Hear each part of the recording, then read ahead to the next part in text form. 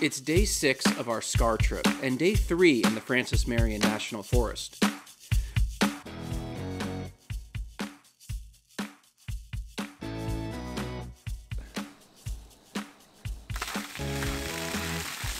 Well, good morning.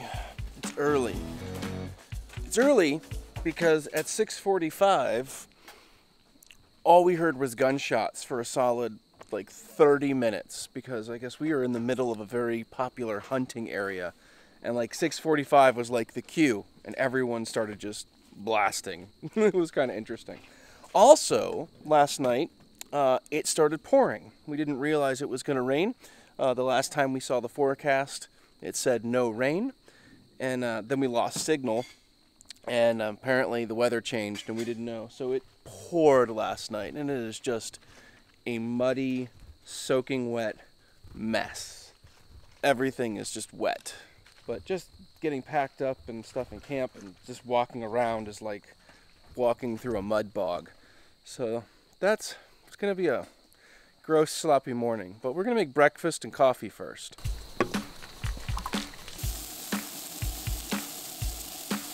Beef's having Oreos and coffee for breakfast.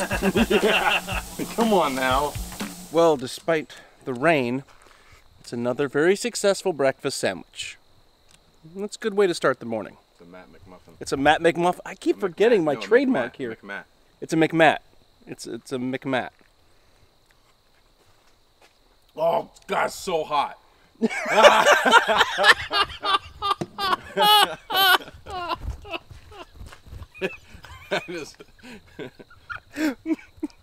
There goes my tongue.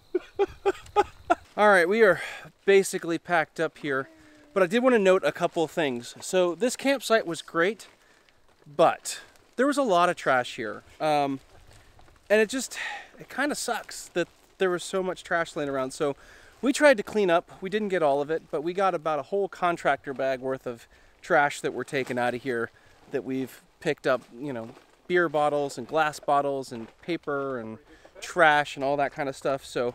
Uh, as my friend Kevin with High Point Overland would say, uh, tread lightly, leave no trace, give a hoot, don't pollute, leave it better than you found it. So, anyway, those are some things that we're trying to do here, trying to leave a little bit better than we found it. It just sort of stinks that people don't care enough and they just leave crap everywhere. Like, like right here. Here's a little bag that I missed the first go around. Someone's Doritos, so we'll throw that in the trash too.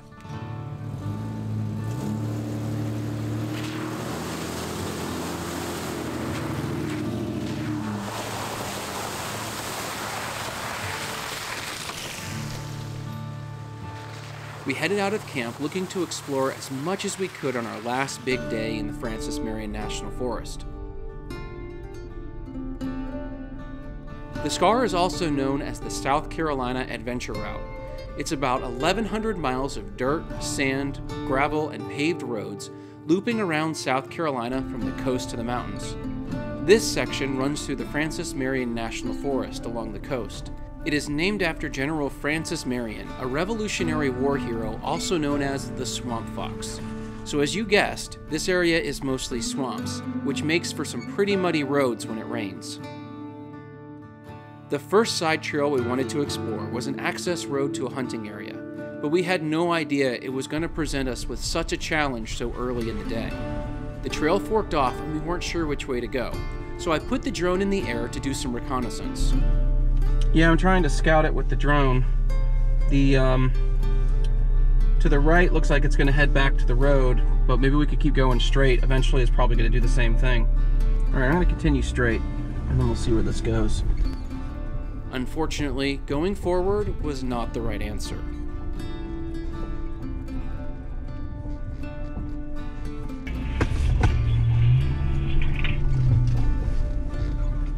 Uh, I'm not sure there is a forward anymore. I'm gonna have to get out and look at this. I'm not sure that this is something we can get through.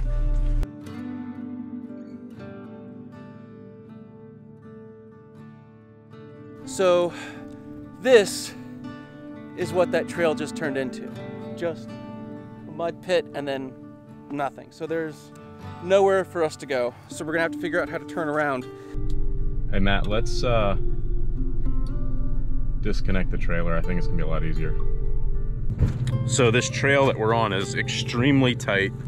There's a ditch over here, a little bit of a clearing here. We're gonna try to push the trailer into this clearing. We're gonna unhook it from the Jeep and see if we can get the two of us turned around uh, a little bit and then and then reattach the trailer to the Jeep and get us out of here. Oh boy.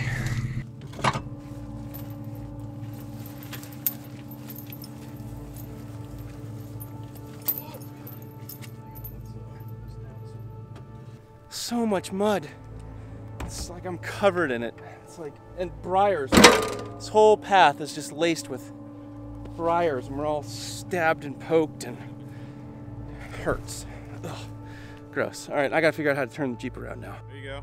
A couple feet. Keep going. A little more. So the other vehicles have decided not to try to turn around. They're gonna try to back out from all this. So hopefully that works out. But obviously backing out with the trailer was gonna be complicated, so we flipped me around. So now it's time to drive out of here. Action, adventure.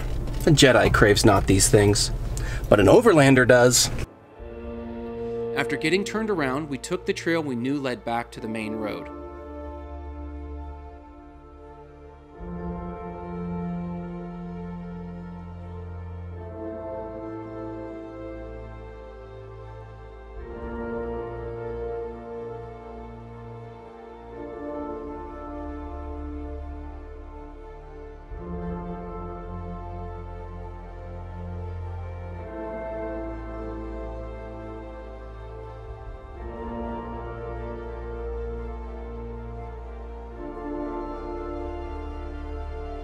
We spent the next few hours exploring the trails along the Scar, looking for adventure and marking possible campsites for the future.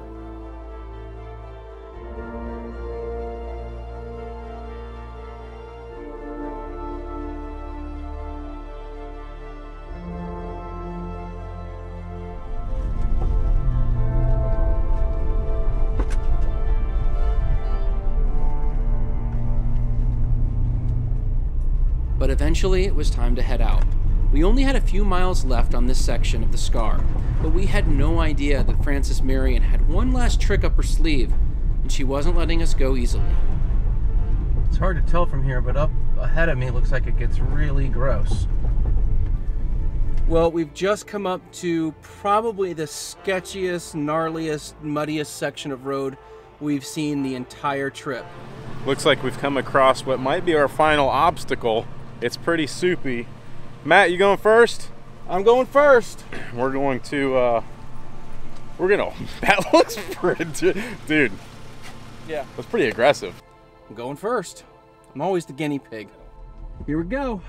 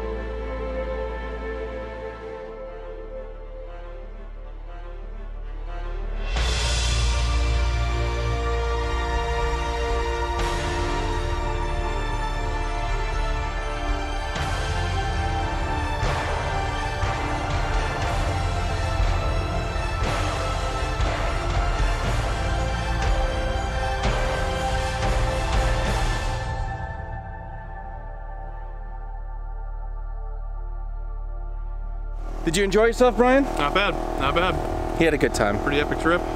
It was good. It was fun. But yeah, we are. yeah, everything is just absolutely plastered in mud. All right, well, we have reached the end of the off road segment of the SCAR for the Francis Marion National Forest. We have one more spot that we just have to see while we're in this area. So we're gonna air up and we're gonna hit that. And that's pretty much gonna do it for this section of the scar, but I'm really excited about what we're about to see. All right, we are here and I'm really excited. We are at the gravesite of Francis Marion, which is what the forest is named after. But Francis Marion was a Revolutionary War hero, uh, also known as the Swamp Fox. And if you have seen Mel Gibson's movie The Patriot, he played Francis Marion, the Swamp Fox. Uh, all kinds of stuff in South Carolina is named after him. And so it's really, we wanted to, we were close and we wanted to make sure that we, uh, we got to see some extra history around South Carolina as we did this tour. So really excited to kind of be here and just check this spot out. It's really out of the way and kind of secluded and I'm a little surprised there's not some more monumentous kinds of stuff here, but uh, yeah, super cool. I'll show you around. So the thing that really made Francis Marion or the Swamp Fox famous was he sort of revolutionized guerrilla warfare tactics during the Revolutionary War. So historically what would happen is the the British would come in and they would go hide in the, the swamps and stuff and then they would attack far superior forces just out of nowhere throughout the woods, run and gun, you know, shoot behind trees, disappear, all that kind of stuff. And he was just decimating the British forces that were in this area with a very small force and uh, driving the British crazy.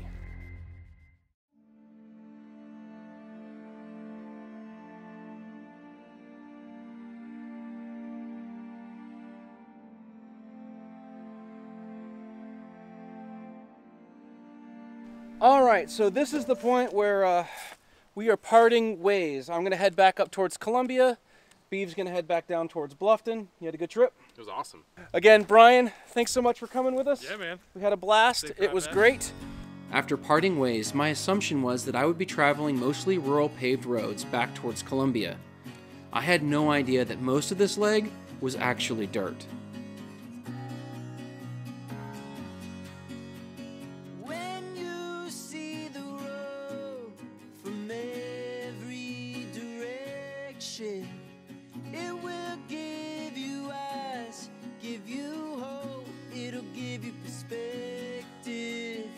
So I totally assumed that the drive home was going to be really basically fast and paved rural back roads.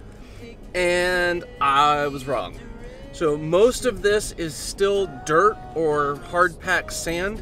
Um, it's not been anything overly technical, but it has not been paved roads, so my speed has not been that great. Like right now, I'm doing 40, but we're on a um, you know just a dirt road, and it's beautiful though, absolutely beautiful. Like I really want to take this section again when I have more time to kind of explore and, and just take it in better. Uh, I really feel like I kind of cheated myself trying to do this section with the the Francis Marion section the way we did all in one day. But um, anyway, it's a really well, was a little soft sand there. uh, it haven't been in four wheel drive or anything like that, just two wheel drive. It's been a lot of fun, but it's taken me a lot longer to get home than I imagined it would. Thank you so much for watching. If you like this video, please give it a thumbs up. It helps out the channel a lot. And if you haven't subscribed, please consider subscribing so you can keep up with more adventures as we travel the Scar and beyond. Until next time, God bless, and we'll see you on the trails. All right, I made it home. And I'm just looking at the trailer, and it is just caked in mud. It's gonna take me forever to, to clean this thing off and pressure wash it. But anyway, had an absolute blast. We'll see you later.